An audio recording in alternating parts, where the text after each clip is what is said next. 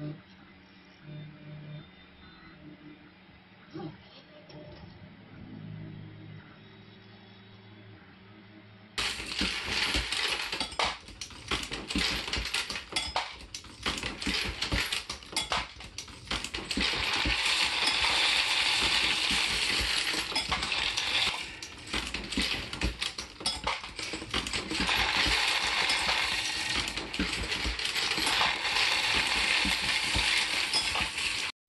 So I want to make another video on this bullet feeder. I made one the other day, but it was mainly just a, a post for Facebook for a different group. So I had a lot of questions. I decided to make a little video on it, talk about different motor mount and transfer tubes that you could use, as well as different drop tube and drop tube adapters for the different bullet feeding dies. Now you can find these on Thingiverse. I'll put the link below. This is made by a guy named Ammo Mike, or is designed by a guy named Ammo Mike. And they're really easy to print.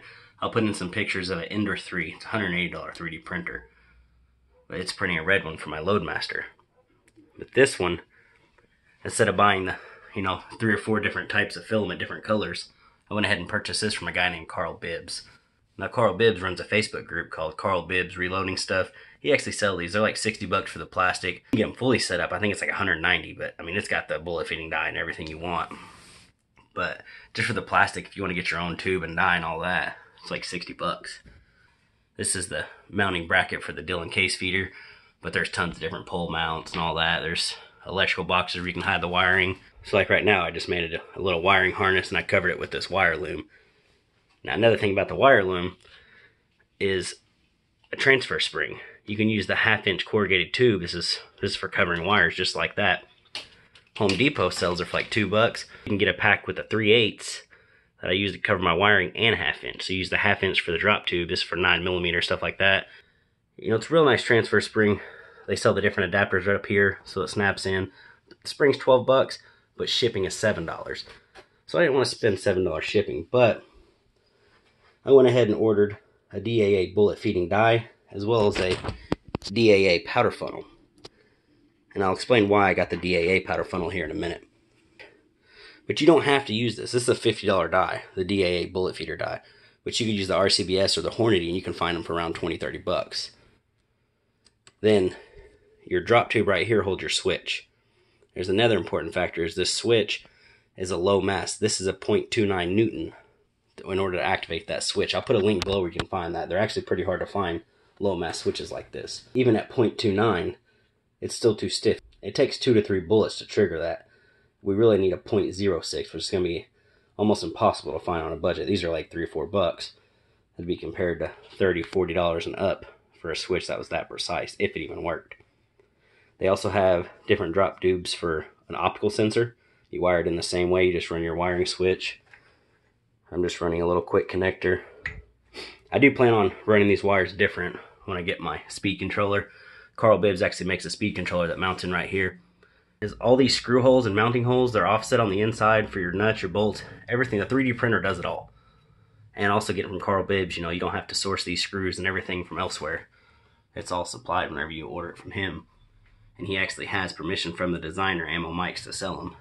He's just a little small side business veteran. He makes lots of 3D printed parts. Like, you can do tons of stuff with 3D printers. Like these little primer tube clips, you know, primer stops, case stops. There's all kinds of stuff you can do.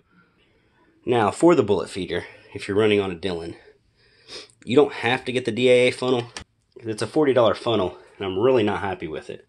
So now the stock Dillon funnel, all it does is flare the mouth of the case, which you can use it, but it takes a really long time to get it set in, and I was getting brass shavings everywhere, like horrible brass shavings. I think I still have a picture I'll post in here. Horrible brass shavings, big slivers. So I went with the DAA funnel. The reason I went with the DAA is to eliminate that because it actually has a step down. It actually steps your entire case out as well as flaring. It bells out the mouth of the case. But I was getting some horrible sticking. This is why I'm not happy with a $40 die. All of this area here on the DAA powder funnel, I posted on Facebook. It was sticking real bad. I was lubing my cases. It was sticking just really horrible, jerking the press around. And everybody talked about you have to sand it or you have to get a polishing compound and a Dremel, which I ended up doing and it went away. You just mirror polish that whole thing. It works really good now, but for a $40 powder funnel, that's ridiculous you have to do that. Sorry, that is a little sore spot for me that they're going to charge that much for a powder funnel and you have to finish it yourself. Then here the bullet feeder. You'll notice this is your drop tube. These are caliber specific as well as your shell plate. Now this 10 millimeter opening is what I'm using for 9 millimeter. You probably use different calibers in it, but this is what you need for 9 millimeters, the 10 millimeter opening. You're going to hold your limit switches in here. They have large and small, depending on how wide your limit switch is. And they also have optical sensors if you want to run a light sensor to stop it. But these switches I really like. Now, like I said earlier, 0.29 Newton, it takes a few bullets to trigger it. But that's fine because now you have, you know, four to five bullets inside your die, as well as another three or four inside your drop tube. So you always have a steady supply of bullet. Now, if you're printing this yourself on Thingiverse, you're going to find a lot of caliber specific parts, like the drop tube I just showed you, as well as the flipping plate. The flipping plate is going to be for multiple calibers, but for instance, on 9mm, it takes this two-sided.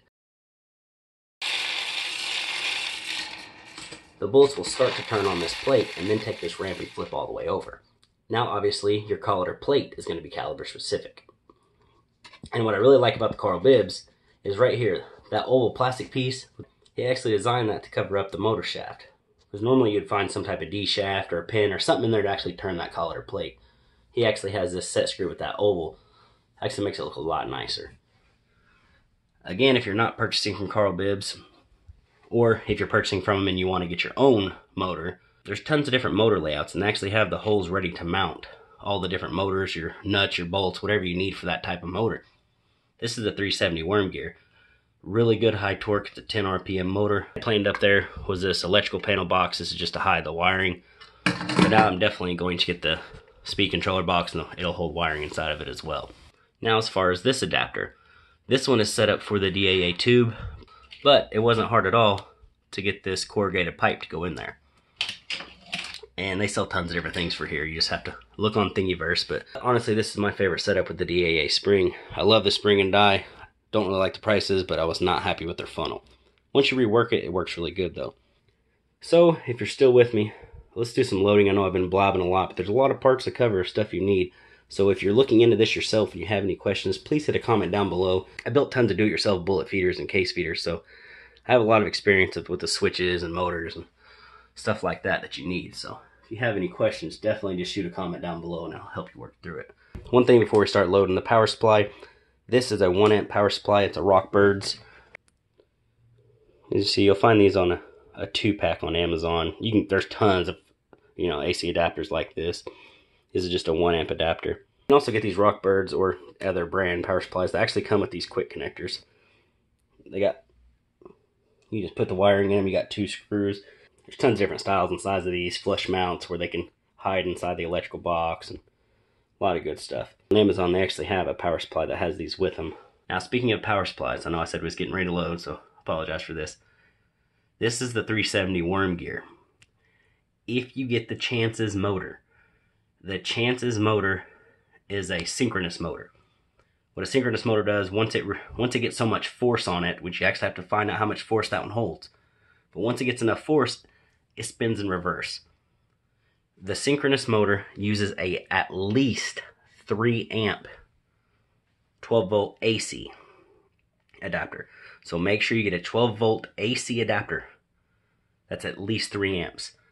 And I've seen some people talk about their motor won't work on less than 5 amps. To get up in that 5 and 10 amp range, these little power supplies ain't going to cut it. You're actually going to have to get a laptop power supply, cut the wires yourself. Now, although I really do like the Chances motors, their synchronous motor, they're it's sort of like a disc, looks like a hockey puck. They're good motors if they wired them right. I'll put in some pictures below of one I got that wasn't. I actually had to re-spool it myself. It's a lot of work, it's pretty dangerous.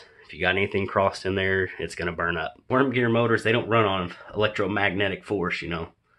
These worm gear motors, there isn't any little plastic gears inside. There's no spooling wire that makes the disc spin.